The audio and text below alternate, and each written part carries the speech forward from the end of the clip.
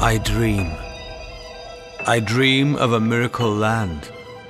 I dream of an extraordinary city. And I remember that perfect place where everything began. Huh. Very interesting. Welcome to the phantasmagoric world of Ernst Hoffmann. I'm composing an opera. An opera? This will be a great piece of music. Into a tale where the line between dreams and reality is blurred.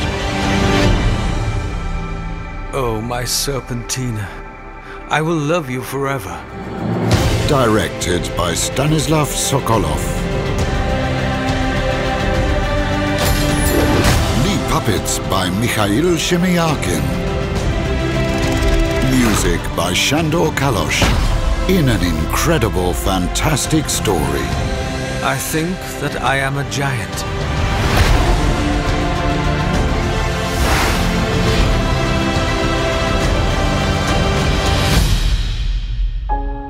Hoffmaniad.